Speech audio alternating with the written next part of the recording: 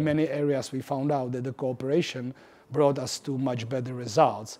And uh, with the artificial intelligence, you've got different level of expertise on evolution uh, based on the legislation framework, but also where the main universities are, where the Silicon Valley is seated. So you won't probably replicate the Silicon Valley in each country, but Europe has also the good capacities. Innovation in the field of emerging technology means to me that we probably at some point have to reinvent cooperation.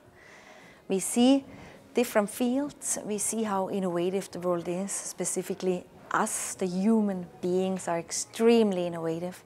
And that's of utmost importance, specifically for the different industrial revolutions. We're in the midst of probably the fourth, maybe already the fifth industrial revolution right now, with artificial intelligence, with robotics, and so on. It used to be up until very recently that a lot of innovation, most of innovation, came actually out of government and often out of defense structures.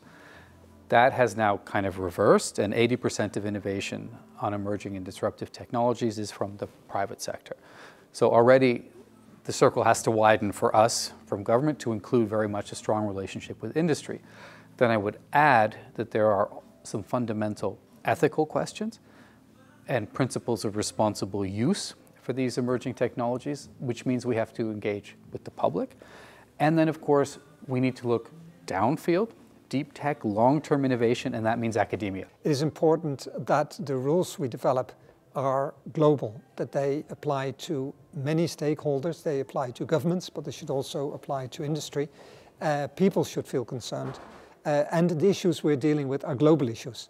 Artificial intelligence, the use of it, the deployment of AI systems is hardly ever limited to a single jurisdiction or even a single continent.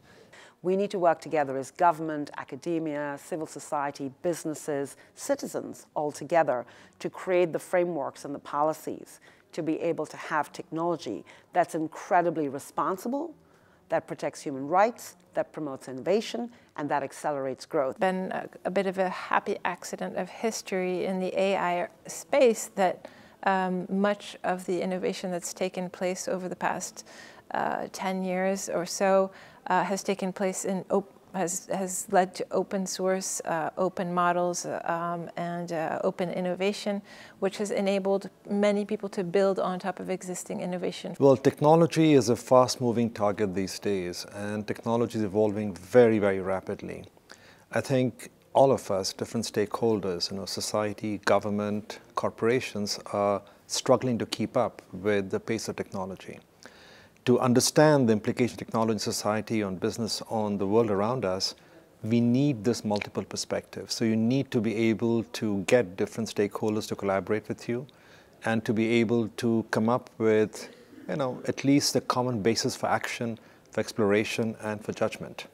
We believe very much in our country, in uh, digitalize whatever we do, because we think this is the future. This will make our economy much more productive and this will give us the opportunity uh, to attract a lot of people back to the country that left during the crisis and maybe even more.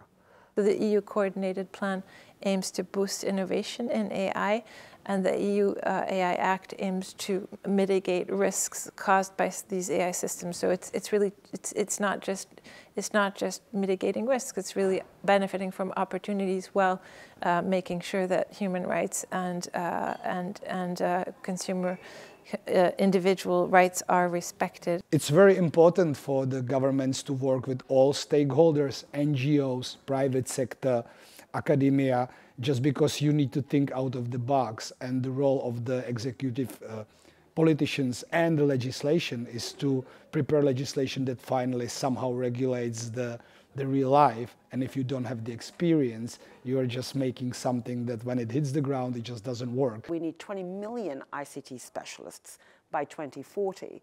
Um, at the rate we're going on training, we're not going to get there. And so we've made a commitment as AWS to actually train 29 million people for free by 2025. And I really mean for free. We're investing hundreds of millions of dollars to make this possible. Digital technology is not just a, a matter of one state and one nation. It, it cannot work like that. It's, it's a matter of society of nations, of a broader region. So uh, we want uh, stake, international stakeholders to be participating. I think policymakers have an important role to play in ensuring that uh, that continued open source, open innovation in the AI arena. But I think we shouldn't look at them in silo. We really have to work together. We have to cooperate. And this word cooperation needs to be the key in all these different emergent technologies.